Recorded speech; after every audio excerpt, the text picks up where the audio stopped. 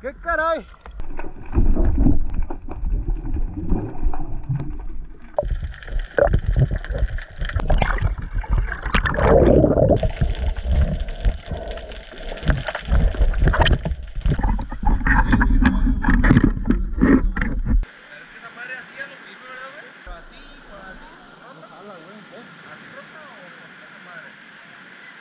Caray! ¿Así como estás? ¿Cómo te lo dejé, güey? Güey, pues tiene su tiempo, güey. Aunque uno así lo haya usado de todas maneras ahí.